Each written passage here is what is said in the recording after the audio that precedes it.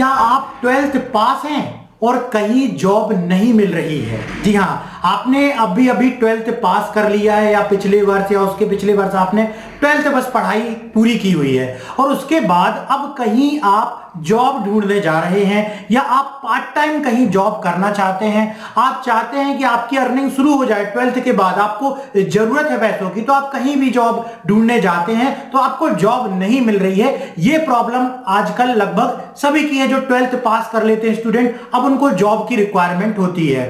आप कहीं part time job करना चाहते हैं, लेकिन आपके पास कंप्यूटर डिप्लोमा नहीं है। आजकल हर ऑफ़िस हर डिपार्टमेंट में कंप्यूटर का डिप्लोमा मांगा जाता है। आप किसी भी वैकेंसी के, चाहे वो गवर्नमेंट हो प्राइवेट हो, उसके नोटिफिकेशन को देखिए। वहाँ पर जितनी भी वैकेंसी निकली होती है, उसमें कंप्यूटर का डिप्लोमा जो है वो अनिवार्य होता है, क्योंकि हर ऑफ़िस कार्य आजकल कंप्यूटर में होने लगे हैं। तो आप किसी भी पोस्ट में हो, आपको ये माना जाता कि आपको कंप्यूटर का नॉलेज होना ही चाहिए। तो आप पार्ट टाइम कहीं जाते हैं जॉब करने के लिए, लेकिन आपके पास डिप्लोमा नहीं है। किसी भी जॉब में अप्लाई करने जाते हैं, सभी जगह कंप्यूटर का ही डिप्लोमा मांगा जाता है। नॉलेज अपनी जगह नॉलेज तो होना चाहिए। लेकिन जब हम किसी कंपनी में अप्लाई करते हैं, हम अपने क्षेत्र में किसी कोई वैकेंसी निकलती, वहाँ अप्लाई करते हैं तो वहाँ पर ना प्रमाण मांगा जाता है कि आपने कहीं से कोर्स किया हुआ है तो उसका कोई डिप्लोमा आप लेकर के आइए। तभी वहाँ पर आपका सिलेक्शन होता है, आपका इंटरव्यू लिया जाता है,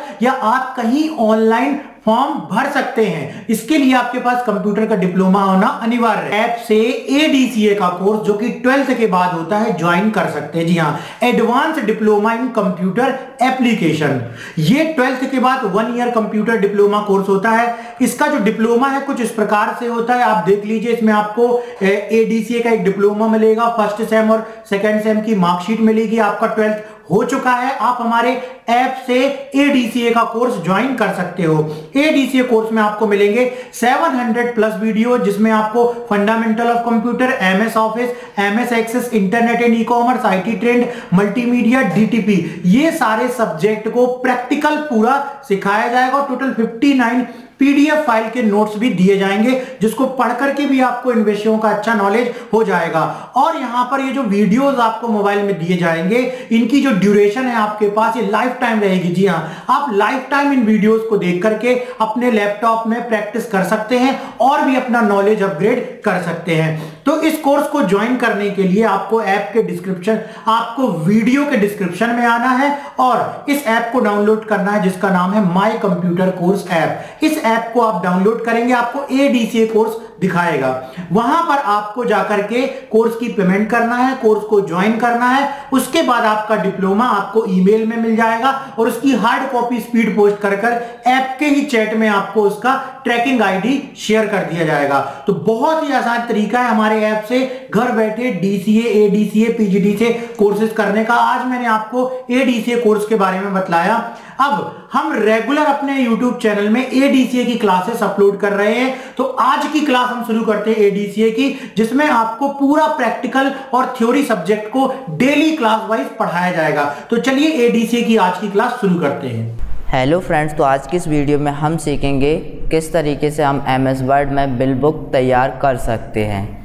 तो मैंने यहाँ पे ये पेपर ले लिया है, जो कि ए फोर साइज़ का है। मैं यहाँ से इसकी साइज़ चेंज कर लेता हूँ। यहाँ पे जा कर के मैंने कर लिया ए फोर साइज़ जो विल बुक बनाई जाती है, वो अलग अलग साइज़ की होती है। जहाँ आप वर्क कर रहे जैसी रिक्वायरमेंट है, आप उसको सिलेक्ट कर सकते हैं। आप यहाँ पर जाके पेज सेलेक्ट कर सकते हैं। नहीं तो यहाँ पर मोर पेपर में जा कर के आप कस्टम साइज़ दे सकते हैं कि हो सकता है आपकी जो विल बुक बनाना, उसकी चौड़ाई कुछ और डालनी है यहाँ पर और उसकी हाइट कुछ और। और यहाँ पर चेंजेस करेंगे ओके करेंगे तो उस साइज़ का पेपर आप आपका यहाँ पे आ जाएगा कुछ इस प्रकार से ऐसा।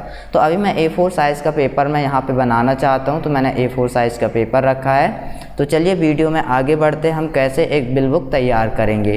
तो बिल बुक तैयार करने के लिए मैं यहाँ पे इंसर्ट में जाता हूँ, मैं टेबल के माध्यम से बिल बुक तैयार करूँगा। तो मैंने यहाँ से काउंट किए, मेरे को चाहिए सात रो और मेरे को चाहिए छः कॉलम तो मैंने ये इस तरीके से काउंट कर लिए, ये। मेरे को ये पाँच कॉलम चाहिए तो मैंने ये क्लिक कर दिया, यहाँ पे एक टेबल आ गई है।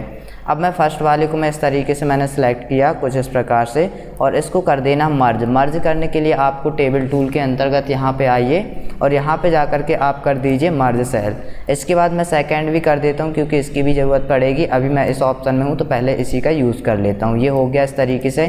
अब मैं यहाँ पे जो मेरे को मैटर लिखना है, वो यहाँ पर मैं टाइप करा लेता हूँ, जैसे मैंने यहाँ पर लिख लिया। ये मैंने यहाँ पे टाइप कर लिया है। इसको मैं सिलेक्ट करता हूँ और यहाँ पे जा कर के इसको सेंटर अलाइन करना है तो मैं यहाँ पे जाता हूँ और ये ऑप्शन दिए सेंटर अलाइन इस तरीके से कर सकते हैं। शॉर्टकट की कंट्रोल ई आप वो भी प्रेस कर सकते हो। इसके बाद यहाँ पे मैंने एंटर की प्रेस की। ये क्या कैश मैमो तो मैंने यहाँ पे लिख दिया कैश मैमो ये मैंने यहाँ पे टाइप कर लिया कुछ इस प्रकार से। आ, इस वाले को मैं सिलेक्ट करता हूँ। थोड़ा सा मैं डार्क देना चाहता हूँ ऊपर वाले टैक्स को। तो मैंने यहाँ से जाके बोल्ड कर लिया। शॉर्टकट की कंट्रोल प्लस भी है तो आप कर सकते हो। तो मैंने ये सिलेक्ट कर लिया इस तरीके से और इसको थोड़ा सा साइज़ कम करते हैं, ये। इसके बाद एंटर यहाँ पे मैं शॉप का नाम लिखने वाला हूँ। उस शॉप का यहाँ पे नाम लिखूँगा, जिस शॉप का मैं ये बिल बुक तैयार कर रहा हूँ। तो मैं यहाँ पे लिख लेता हूँ कैप लॉक को ऑन कर लेता हूँ, ताकि जो भी मैं टाइप करूँ कैपिटल टाइप हो तो यहाँ पे मैं लिख लेता हूँ जो मेरे को शॉप का नाम देना मैंने लिख दिया साहू। तो मैंने यहाँ पे नाम टाइप कर लिया है शॉप का। अब ये शॉप का नाम है थोड़ा सा अट्रैक्टिव यहाँ पे फ़ॉन्ट देने की कोशिश करते हैं यहाँ पे। तो मैं फ़ॉन्ट बदल लेता हूँ। ये मैंने कर लिया है और इसकी साइज़ को मैं थोड़ा सा इनक्रीज़ करा लेता हूँ, लगभग ये इतना इस प्रकार से ये हो गया है। इसके बाद मैं यहाँ पे चलता हूँ। यहाँ पे मेरे को जो भी इस, ये एक प्रकार की मोबाइल शॉप का ये बिल बुक बना रहा हूँ तो यहाँ पे मैं मोबाइल शॉप के जो जितने भी यहाँ पे ब्रांड होते हैं मोबाइल के, मैं वो यहाँ पे टाइप कर लेता हूँ एक प्रकार से मोबाइल के नाम। तो मैंने यहाँ पे कर लिया नोकिया तो ये हो गया नोकिया। इसके बाद मैंने कर लिया सैमसंग, ओप्पो, जो भी आपको लगे वो आप दे सकते हो, मैंने ये कर दिया है। इसके बाद मैंने दीजिए टेक्नो ये मैंने यहाँ पे कुछ नाम इस तरीके से दे दिए हैं, कुछ इस प्रकार से। इसको मैंने यहाँ पे सिलेक्ट कर लिया है और इसको मैं बोल्ट करना चाहता हूँ, थोड़ा सा ये वोल्ट कर लिया इस प्रकार से और साइज़ को थोड़ा सा इंक्रीज़ कर लेते हैं, कुछ इस प्रकार से मैंने ये कर लिया है। इसको सेंटर अलाइन करना तो कंट्रोल ई प्रेस करेंगे तो ये सेंटर अलाइन हो जाएगी। अब मैं इसका जो सेल है, ये पूरा सेल इसके बैकग्राउंड का कलर चेंज करना चाहता हूँ तो आपको डिज़ाइन में जाना पड़ेगा।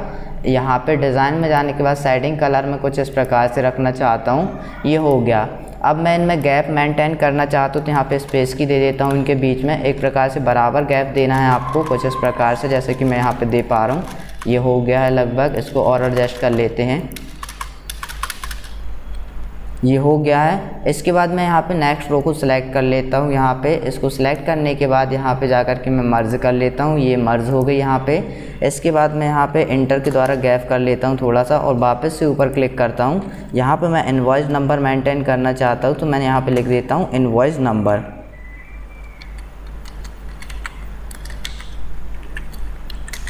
ये मैंने यहाँ दे दिया। इसके बाद स्पेस के द्वारा थोड़ा सा डॉट दे दिया मैंने, जो कि यहाँ पे इन्वॉइस नंबर आएगा।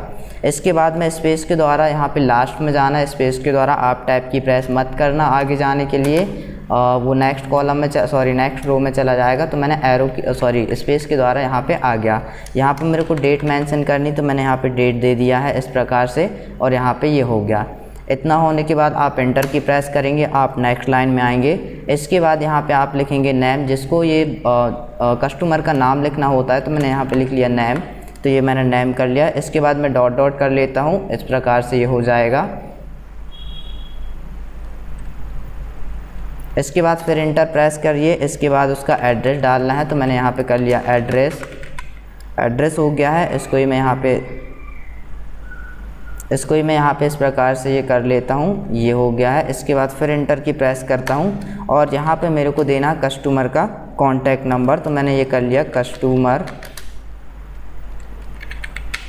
कस्टमर का कॉन्टैक्ट नंबर ठीक? तो मैंने ये फ़ोन नंबर इस तरीके से टाइप कर लिया है और ये मैं इस तरीके से दे देता हूँ, ये हो गया है।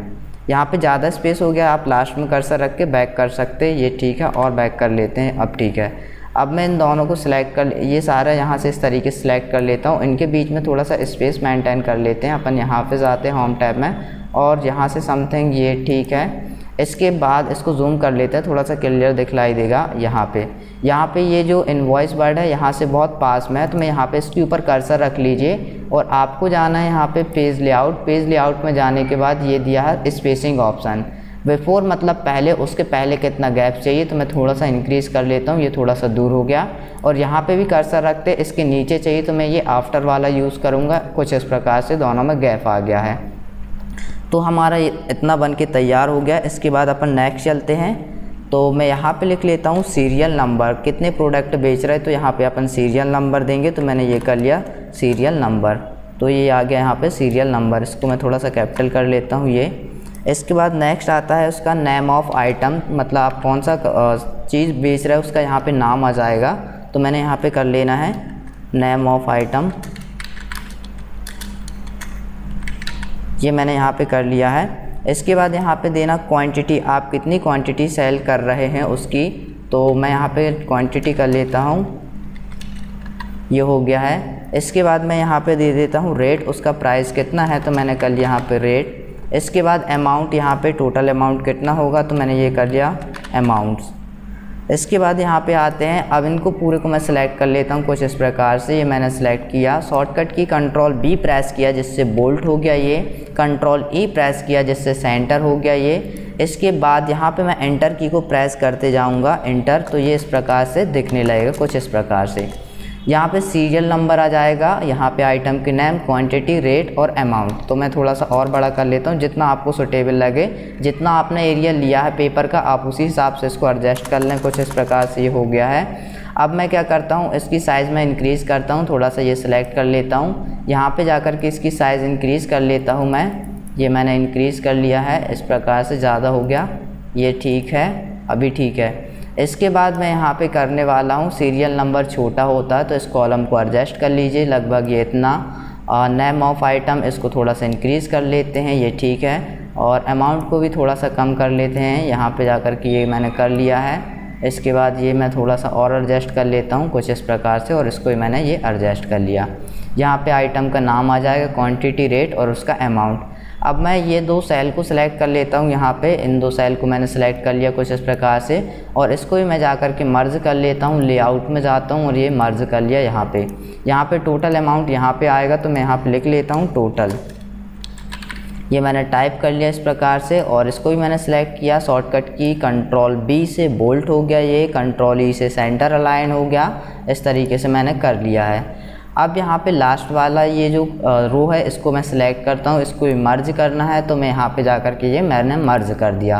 अब मैं यहाँ पे कुछ ऐस यहाँ पे सिग्नेचर चाहिए मेरे को कस्टमर के, और जो ये बिल बुक देता है बिल बना के देता है, उसका यहाँ पे साइन आएगा। तो यहाँ पे मैं इंटर के द्वारा स्पेस क्रिएट कर लेता हूँ। अब मैं यहाँ पे एक वर्ड टाइप कर लेता हूँ, नियम और शर्त है तो मैं यहाँ पे नोट करके दे दे रहा हूँ, ठीक है? तो मैंने ये कर लिया नोट और इस प्रकार से ये सिंबल दे दिया मैंने, ये हो गया इंटर इस नोट को भी थोड़ा सा डार्क कर लेते हैं ताकि ये इस तरीके से कर लिया और साइज़ को मैं थोड़ा सा इंक्रीज़ कर लेता हूँ इसकी साइज़ को तो मैंने ये इंक्रीज़ कर लिया। अब इसके बाद यहाँ पे कुछ नियम नियम शर्तें देनी ही मेरे को। तो हिंदी में मैं यहाँ पे लिखना लिखूँगा तो थोड़ा टाइम लगेगा, इसलिए मैं यहाँ पे कॉपी पेस्ट करके लेके आता हूँ। तो मैंने यहाँ पे पेस्ट कर लिया है, कुछ इस प्रकार से आप देख पा रहे हैं। यहाँ पे ज़्यादा स्पेस आ गया, इसको थोड़ा कम कर लेते हैं। तो यहाँ पे कुछ कंडीशन लिख दी है मैंने, यहाँ पे इस प्रकार से जैसे कि आप लोग देख पा रहे हो। इसके बाद यहाँ पे मैं लिखने वाला हूँ कस्टमर सिग्नेचर कस्टमर के साइन लेने यहाँ पे तो मैं यहाँ पे लिख देता हूँ कस्टमर सिग्नेचर तो मैं ये लिख देता हूँ सिग्नेचर ऑफ़ कस्टमर तो मैंने ये टाइप कर लिया इस प्रकार से। अब मैं स्पेस के द्वारा इस साइट आता हूँ। जो ये बिल बुक सॉरी बिल बना करके देता है आइटम बेचने के बाद कहना चाहिए दुकान वाला तो उसका यहाँ पे सिग्नेचर होगा तो मैं यहाँ पे टाइप कर लेता हूँ सिग्नेचर ये हो गया, आप इसको और एडजस्ट कर सकते हैं। यहाँ पे कर्सर रखिए स्पेस के द्वारा इस तरीके से। और इसके बाद इंटर की प्रेस करते, थोड़ा सा ये गैप आ जाएगा। और यहाँ पे रख के एक और इंटर ये इस प्रकार से हो गया। इसको थोड़ा सा एरो की से आगे कर लेते हैं। ये लगभग इस प्रकार से हो चुका है। अब यहाँ पे थोड़ा सा साइज़ वगैरह आप मेंटेन कर लीजिए, जैसे कि नैम, इसको थोड़ा सा हाईलाइट करा लेता हूँ मैं अपने अकॉर्डिंग जैसा मेरे को चाहिए, मैं वैसा यूज़ करूँगा।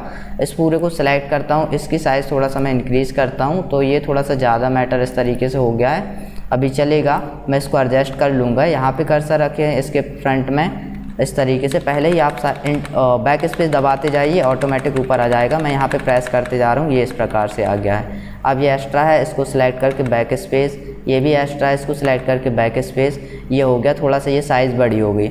अब मैं इसको भी सिलेक्ट कर लेता हूँ यहाँ पे इस वाले को, और इसका भी थोड़ा फ़ॉन्ट चेंज कर लेता हूँ तो मैं यहाँ पे वही वाला फ़ॉन्ट कर ले रहा हूँ। तो ये हो गया कुछ इस प्रकार से। अब देखो ये फ़ॉन्ट बदला तो ये थोड़ा सा इस प्रकार से मैटर आगे पीछे हो गया है। तो आप सब में थोड़ा थोड़ा स्पेस मेंटेन कर लेंगे तो ये वाला वर्ड भी ऊपर आ जाएगा, कुछ इस प्रकार से ये हो गया।